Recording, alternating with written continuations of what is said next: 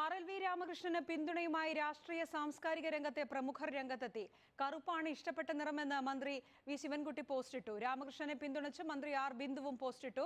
ജാതി വർണ വിവേചനം കേരളത്തിലെ കലാരംഗത്ത് ലജ്ജാഹീനമായി നിലനിൽക്കുന്നുവെന്ന് കേരള സാഹിത്യ അക്കാദമി അധ്യക്ഷനും കവിയുമായ കെ. സച്ചിദാനന്ദനും ചൂണ്ടിക്കാട്ടി.